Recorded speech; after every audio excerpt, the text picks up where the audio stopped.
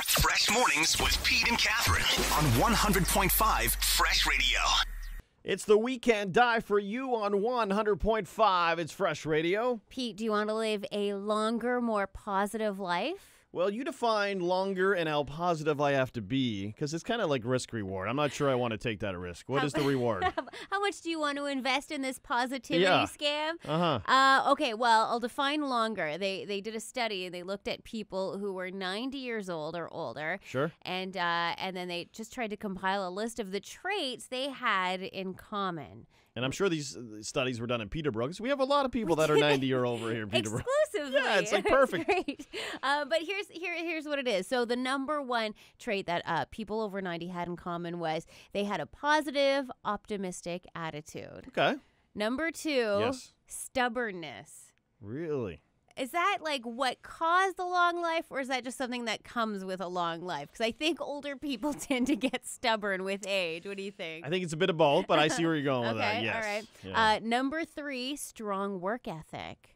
okay, then I'm out. I'm You're out. I'm never going to hit 90 now. It's exhausting just reading that list. Uh, number four, this is a surprising one living a rural life and enjoying it.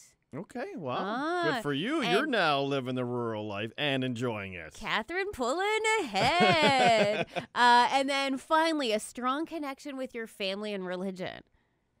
Okay, well, Yeah. your things are adding up for you. I- like, you, you're strong with your family. You're connected am, well. yeah. You're living on the Living farm. out in the country. You're gonna live to like you're 112. It's the plan. I can't afford to live that long, though. but you know what's gonna happen? You're gonna shrink. Like you get a little smaller. you're already kind of, you know. I never thought about that. This is a nightmare. I'm going to get smaller than this. Hang on, we got to keep it positive. Okay, here. all right. You're right. Optimistic. I will Uh. I will fit into more clothes.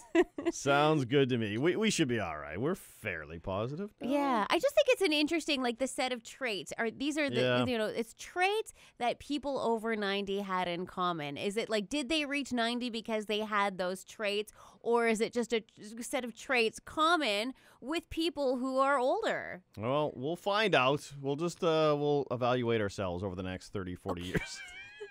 Call you then. we'll get you updated then, all right? Bye. We're going to take a quick time out. Coming up next, it's Scott Helman here on Fresh Mornings. Wake up and love the music. Fresh mornings with Pete and Catherine. Weekdays 5:30 to 10 on 100.5 Fresh Radio.